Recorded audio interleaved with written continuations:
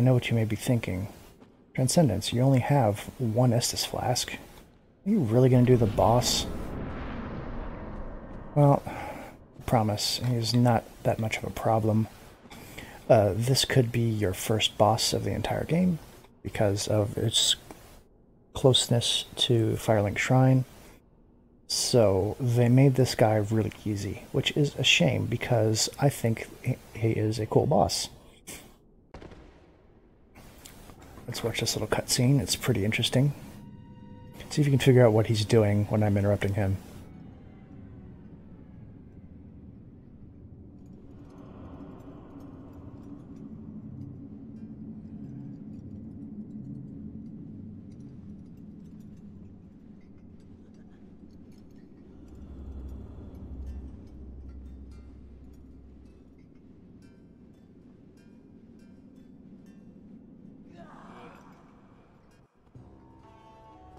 He even gets his own unique uh, music that no one will hear because you kill him too quickly. Basically, he casts spells and clones himself. Fights more or less like a regular uh, caster type enemy. You have to figure out which one's the real him. Only the real one does real damage to his life bar. But if you do enough damage to the fakes, they do disappear. I think this is the real one.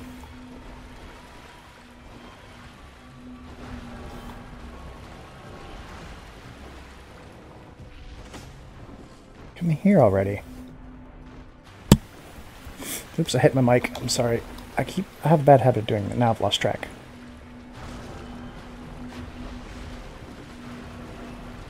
It's you.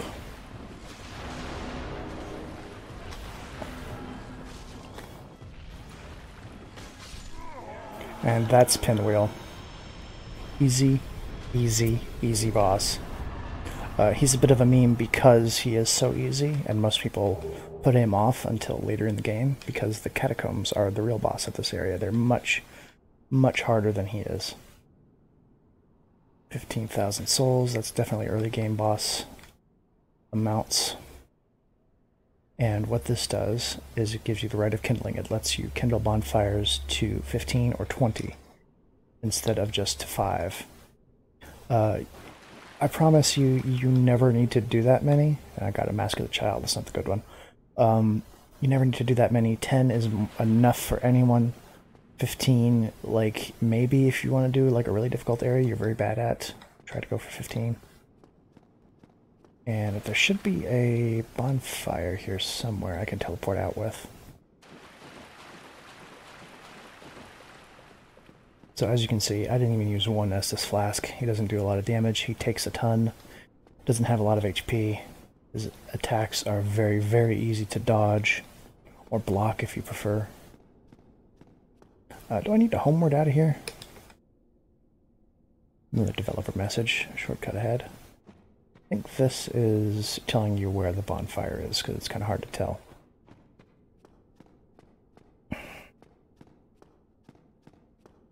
Anyway, can you see what kind of area this is here? This looks like the lid of a coffin like a giant stone lid of a coffin. This area we're coming up on is called the Tomb of Giants. And well, guess what? It's literal. This guy was actually inside of a giant coffin doing his stuff. Uh, he's necromancying. I probably need to equip the lantern now because I just cannot find that bonfire. If there is a bonfire here, I don't really recall. I remember there being a bonfire in the room with him. So, remember I said something along the lines of, oh yes, the lantern, that's going to be necessary. Droops from his long beard locks, even though you hold it by its hair. The lantern alights the tomb of giants, Nito's light devouring domains of death. Uh, this is a terrible, terrible weapon and unfortunately you have to use it and it takes up the place of takes the place of your shield. It looks kind of cool though. So this is what you do. You hold out the lantern. Just so you can see down here. Here's another coffin lid. Tomb of Giants. Uh, where is the bonfire? Do I want to mess with you right now?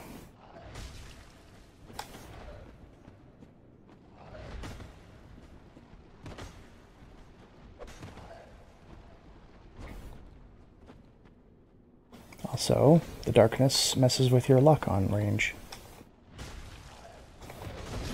Mm, very bad. So I guess I need to go through, get my 40,000 souls and three humanities, and just homeward bone my way back out because I don't really necessarily want to do Tomb of Giants right now. Uh, I guess I could stick with the... Ah, I think I can get past that every time and it never happens. Um, what was I saying? Um, I guess I can just stick with the meat cleaver because there are no more uh, necromancers down here anymore. Pretty sure anyway.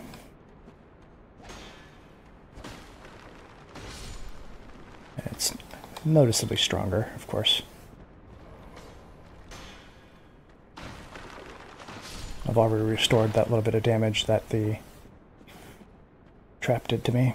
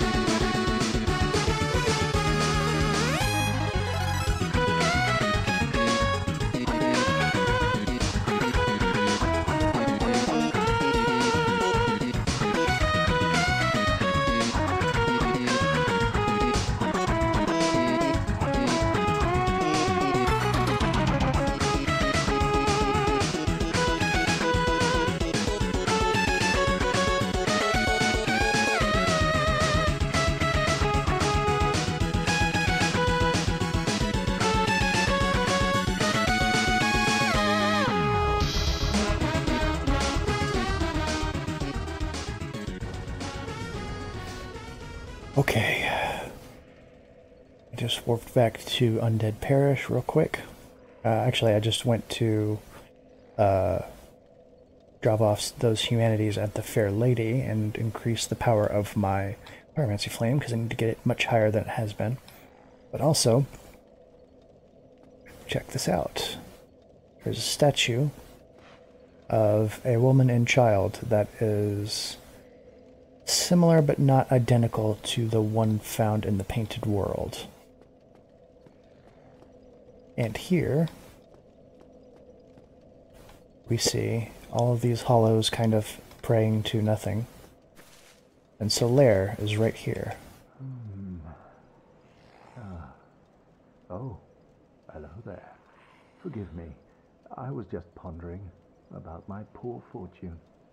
I did not find my own son, not in Anor Londo, nor in Twilight Blight Town. Where else might my son be? Lost Izalith, or the tomb of the Grave Lord? But I cannot give up. I became undead to pursue this. But when I peer at the sun up above, it occurs to me, what if I am seen as a laughing stock, as a blind fool without reason? Well, I suppose they wouldn't be far off. oh, it's okay. History will uh, be on your side here because everyone everyone loves Solaire. Solaire's the greatest. I still can't pray at this. Maybe I have to be in online mode. Oh, hello there. I will stay behind to gaze at the sun. The sun is a wondrous body, like a magnificent father. If only I could be so grossly incandescent. Maybe you will. Maybe that's a bit of foreshadowing. Can I get the sun to disappear? No. Anyway, this is the altar of sunlight where you would join the, the uh, sunlight warriors covenant. Uh, I can't do it, and I'm not sure why. It must be that I have to be online, because it's definitely an online only sort of thing uh, every time you co-op, whether you are the one summoned or the one being summoned, with a um, Sunlight Covenant member, and you defeat a boss, then you get a Sunlight Medal. You turn in Sunlight Medals to increase your level here. Uh, there is a miracle where you get the how do I put it? You get the the miracle called I think it's sunlight spear. It's not sunlight spear. It's just like lightning spear or something like that. You get one of the few attack miracles in the game from this, and obviously lightning bolts are what these guys throw. They do miracles when you summon them in. You've seen them, you know, used. Uh, so this is very useful for being a online play because you get matched up with co-op more often. Um, it's useful if you're a, a, cleric miracle user because it's one of the only miracles that does damage in the game, other than like Wrath of Gods, which is very short range and not very powerful and it's just it's also Solaire's Covenant, so why wouldn't you want to join this, right? I noticed this statue is shattered, and I mentioned earlier that the the sun's firstborn, the uh, Gwyn's firstborn son, um, was erased from history. And it looks like this may have been a statue of him. Uh, the reason I don't think the, the sun's firstborn is Solaire specifically is because this here looks like the, the uh, Dragon Slayer spear that uh, uh, Ornstein had. It's uh, a spear with like a, a, long cross brace on it. Uh, it doesn't look like Solaire's sword at all. And also, like, there's no shield or anything. Uh, there's no reason that Solaire couldn't have taken up use of the sword instead of a spear, but uh, I just don't think it is. And the reason I pointed out the mother and child is because this may be uh, depicting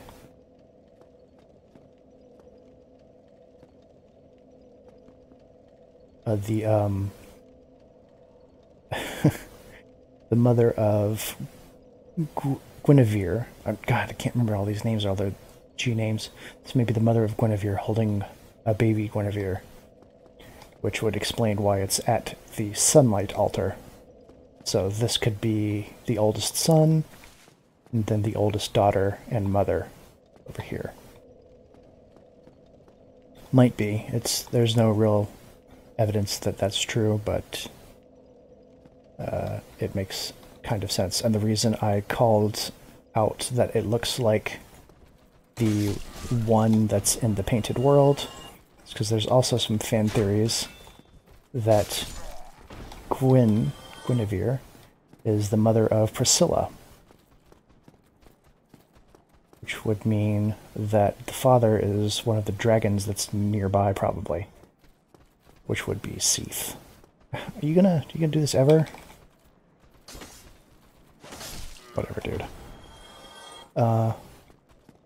Don't think it's as simple as parenthood. I think it's more like Seath does weird experiments with magic and like created her out of himself that's not like in a normal biological way.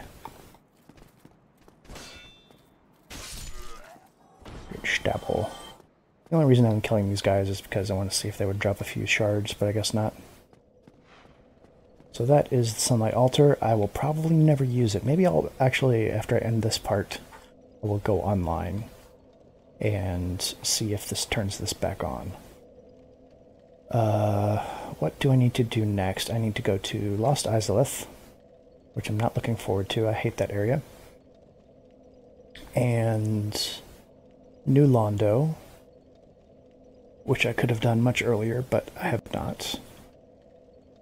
Uh, go back to Blight Town, do the Great Hollow,